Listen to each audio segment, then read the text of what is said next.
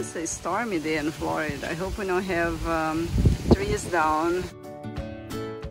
Hi, today I'm gonna be cooking some chicken wings, some french fries, some finger food.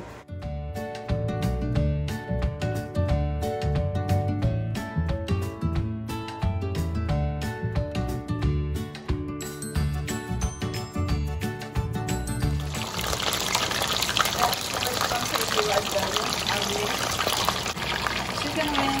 done. Uh, medium high. About 12 minutes. Toss the chicken wings together.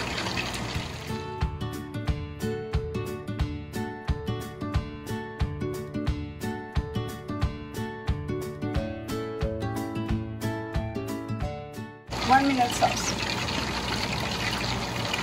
But you can chew garlic sauce. Now I can smell the sauce. It's so good. Also my chicken wings. Look how